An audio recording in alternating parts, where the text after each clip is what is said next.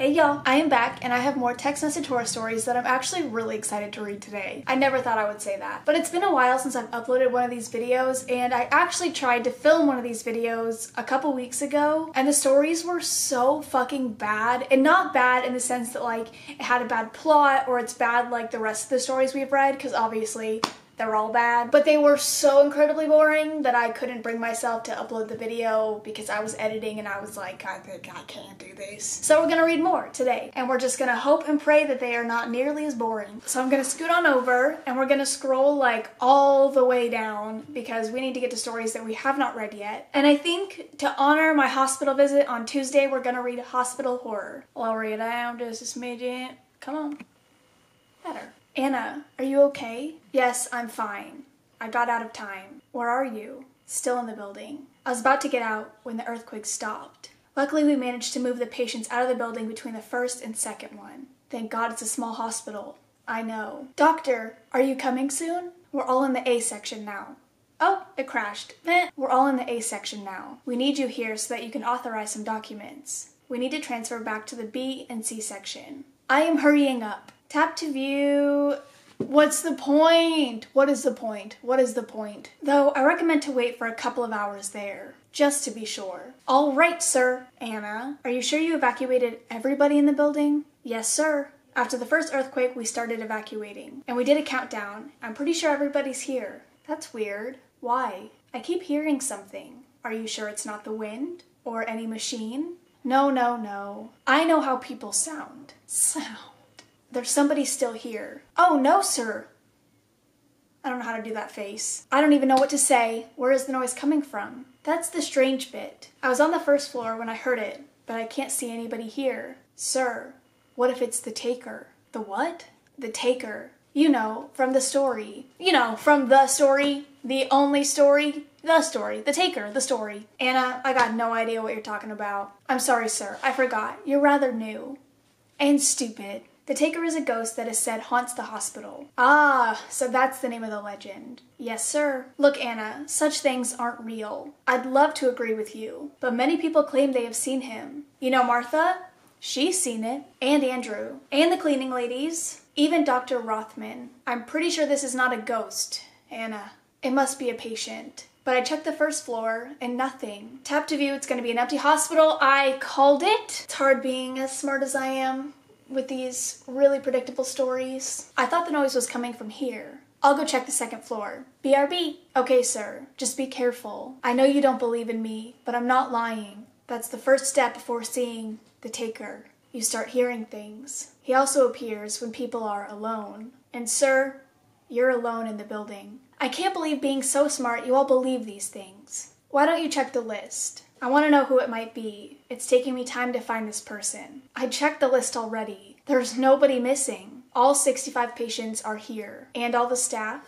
It's very weird. I keep hearing someone. He sounds like he's complaining. He sounds in pain. I'm sure he's a patient. No, please don't go there. Go where?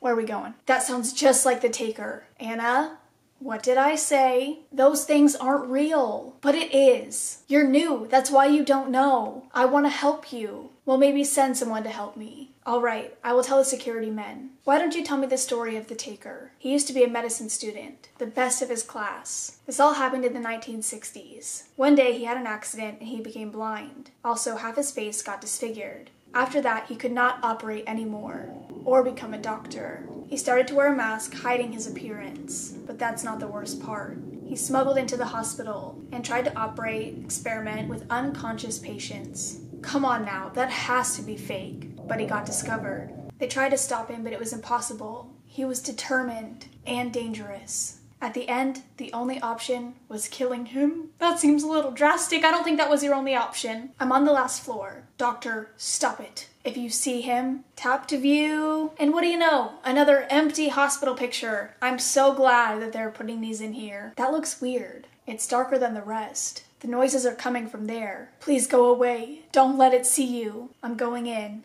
No, doctor! I don't want my brother to hear me. I'm honestly like, because he's, I could hear him in the kitchen. I don't want him to hear, like, what the fuck is she reading right now? No, doctor! If you see him, there's no going back. Oh my god, okay, I can't lie. This is like one of the creepiest pictures and one of the best as well because it actually matches the story. That's creepy as fuck. It's him. Doctor, be careful. Get out. Two minutes later. What was that? It's impossible. He's real? Yes. Where are you now, Doc? I ran away. The guards are looking for you now. What was the other thing? The one who looked like a patient. Oh. Oh. That's the person he practiced on. He's also a ghost. He didn't do anything to me, though. Why? He normally doesn't do anything. You are making it sound so dramatic like he was going to die, and now you're saying he didn't. Eh, no, he doesn't actually do anything to you. It's just kind of creepy. The problem is that once you see him, he can't be unseen. We can't let patients know about this. This hospital barely gets patients. We can't afford losing them. I agree. Like the story, share with your friends. That wasn't that creepy, but honestly, that was one of the better stories I think we've ever read on this channel. And that's saying something. Okay, and we'll read one more. We're gonna scroll all the way to the bottom yet again. Okay, let's do... Hmm, I don't want to read one with two sections. I really don't want... Hmm. Let's read The Trap. You there? No, I'm not. Yes, you are. You're texting me. I mean, I've moved out. I don't understand. What I'm saying is, my mom and I have packed up, and we moved out of our apartment. Where will you move? To a beautiful house in the mountains. Why didn't you tell me? Sorry, didn't have the time. Was busy hurrying for the move. Okay, we were talking just last night, and you hadn't mentioned it to me, that you guys were moving out. I was planning to visit you. I'm sorry. I didn't know that you were planning to visit. Yes, I was. I didn't know that you were planning to visit. Yes, I was.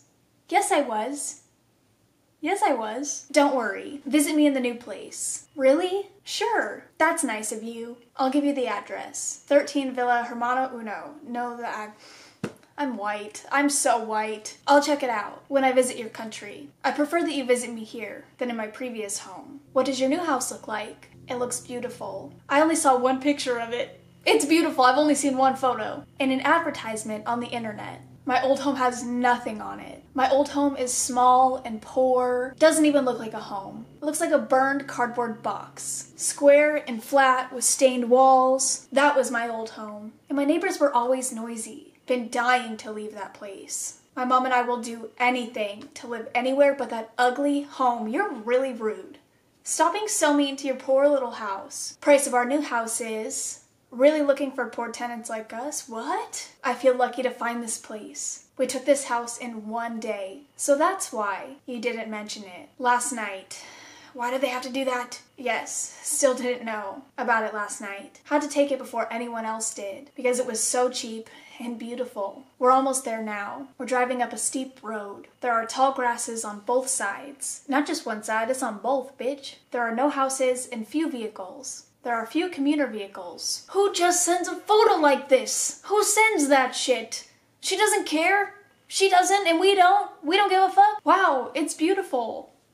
You're joking. I'm glad you like it. The road? We're here already. BRB. Oh, you'll be busy unpacking. I miss you already. Three hours later. I'm back. You're fast. Have you finished unpacking? Technically, yes. We didn't unpack everything. Why? Because mom doesn't want to clutter the house too early. We piled up the boxes in one room. We'll open them only when we need what's inside of them. Okay, what is the house like inside? Oh, it looks like a haunted house. It has a lot of rooms. And it's fully furnished. Even the grounds have furniture. This looks like the patio of a restaurant. The house is so big. There's even a back door. Wow! That leads to an open backyard. Has a view of the nearby river, distant trees, and faraway cities. At least this picture makes sense. It also has a garden. Oh my god, there are so many fucking pictures and there are so many ads. But at least, again, at least this one makes sense, but the camera quality is really bad. It looks like a security camera. There's so much space. Are you scared of it? Of course not. I'm not scared of ghosts. What I'm scared of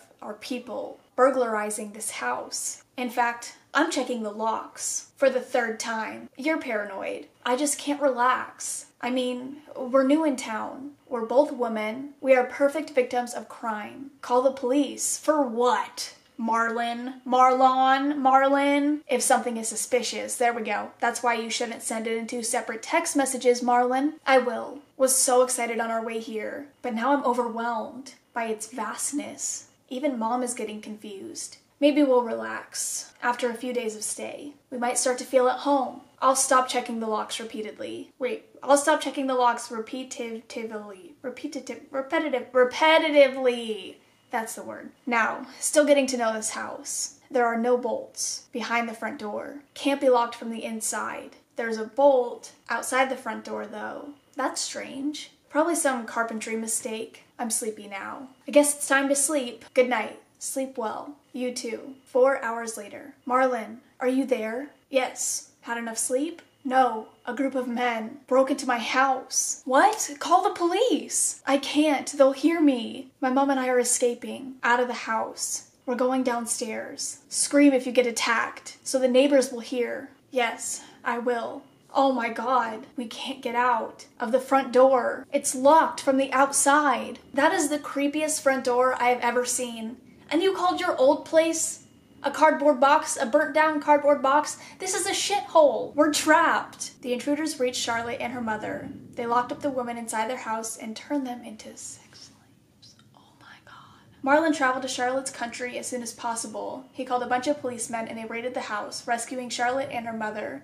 The men were arrested and sent to prison. Is that the end? Yeah, the end. That was the shortest and most random ending ever got scared, share with your friends. Was that not like the shortest one we've ever read? I feel like that was incredibly short. Well, I hope you guys enjoyed. I'm super excited. I threw this t-shirt on because I wanted to tell you guys that I'm gonna have Halloween merch coming out. I'm waiting on one piece to get here because I wanna make sure that I like the design before I release it. And then I also have the same person who created this and my other piece of merch with the skateboard me. They're making me a Halloween piece and I'm so excited. It's so fucking cute. I've seen like bits and pieces of it and I've seen the sketch of it and it's gonna be incredible. Like I'm so fucking excited for you guys to see it. So I will have Halloween merch because I love Halloween. And then the other one is just like the cjades with bats coming out of it. So I'm waiting for that one to get here because again, I want to make sure I like how it looks before I like let you guys get it. I don't know exactly when they'll be out, but probably soon. But I'll announce it again once they're released. But I'm gonna go. I love you guys. I will see you in the next one. Bye. And I told you guys in my video from Friday that I would show you my fall decor my fall decor, my fall decor. So I'm gonna do that now. So in my room, I just have this cute little pumpkin. That's like pretty much the only thing I have in here. My bed's not made, we ignore that. And then I have my Tyler One stream on, which I will pause for this video. But I have a cute little pumpkin right here. I have these cute pillows that I actually got from Target. And then I love this little setup. I love my leather pumpkin. It's so fucking cute. And then I love my bookshelf as well. I got this sign at Target for like five bucks. And then I have my velvet skull and my velvet pumpkin that match. And then I have two little jars down here that I filled with flowers flowers. I have this cute little pumpkin too. It's like a little plush pumpkin. My cats broke it. And then I have this bad boy over here that I just put some fall leaves on and then two more pumpkins. I got some pumpkin candles. We got Jack Skellington. He's my favorite part. Just got a giant Jack Skellington. My office is definitely like the cutest, which I showed you guys before. I have that skull right there. I have Tyler one playing again, but I have these cute pillows. Like this one says trick or treat on it. Sorry, my camera box. I have another plush plush pumpkin. I have my flower board, I have a pumpkin, I have what I can't I think of the name of that? Casket I got a casket. And then I took these pictures down. Okay I always take those down when I do zoom like therapy zoom because they're really creepy and I don't want them to see them so I took those down they're over there. And then outside I got my ghosty who likes to turn around. He's supposed to just be chilling in this corner over here. But we have our inflatable booby the ghosty. And then my front door is just this cute little pumpkin my Hello Pumpkin doormat, and then I actually got this at Big Lots. It's super fucking cute with a little pumpkin on it. But that's it for the fall decor. I didn't go too crazy, but I will go crazy for Christmas. But okay, yeah, see ya.